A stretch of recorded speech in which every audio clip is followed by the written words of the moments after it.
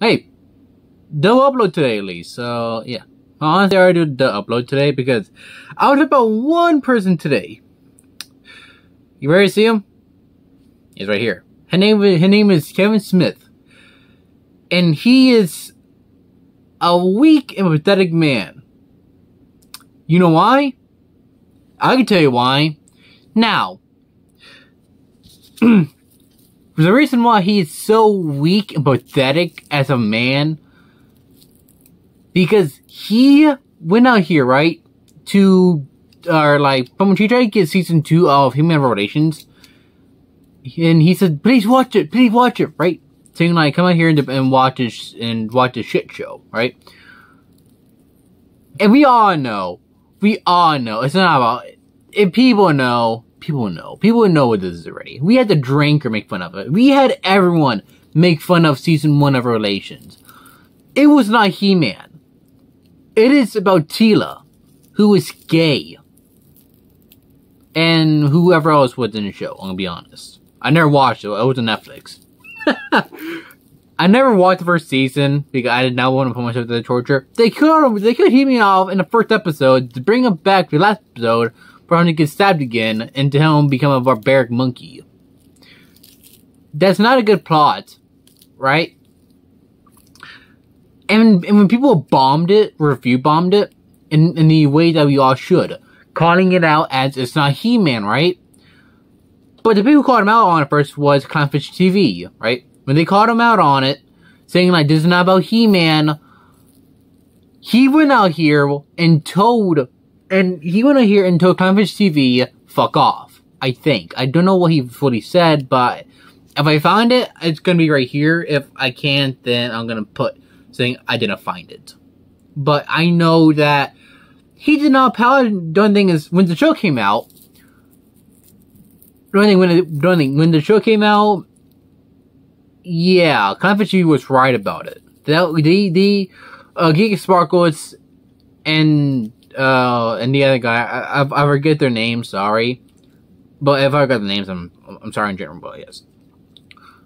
They were right about this, right? And he never apologized to them. That is pathetic, right? But it's funnier now because season two has come out. And he is out here begging on his fucking knees to people like like he made fun of fans who review bombed it in the correct way possible and who needed it to get done, right? So he told them to piss off if, if he didn't like it.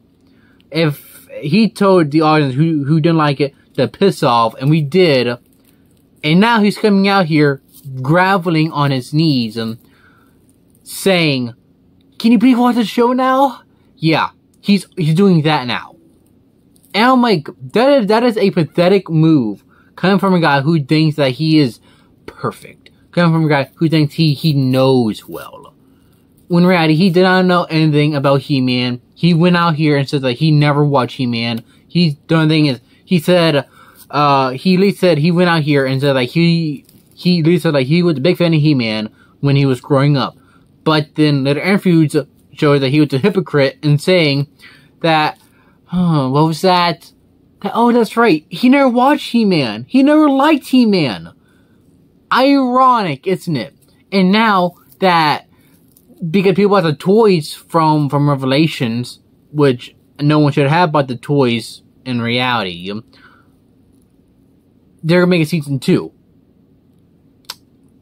So yeah, and now he's out here begging audiences, begging fans to come back, even though when first season came out, he made fun of the fans who didn't like it, who went out here and said, that's a shit show. Now, fuck off, right? Everyone out here and called it what it was, a shit show, a crap fest. No one liked it, and yet again, guess who did like it? The critics. Because that's what he's doing. He's shutting out for the critics, not for the fans. He never cared about the fans. He never cared about the audience. He only cares about critics. Nothing else, and that's bullshit. Come from me, who has watched He-Man, who have watched the last movies with Arnold. I have watched those. Just because they are more better than this shit of a show. And yet again, I watch, right? I would say this. I have watched the 2012 version of Flying Cats, or Thundercats. You remember that show? Uh, if you don't remember, here's an image of it. I already watched that one. It was weird. I have watched some weird shit as a kid. If I if if the year is wrong, here it is correctly. so yeah, uh, Kevin Smith, you're a bitch, and also you're a pussy. And no, no one will watch your show just because you're coming out here and saying everything else. Just because you want to come out here and say that, oh, oh, please fans, watch it. And when you made fun of the same audience.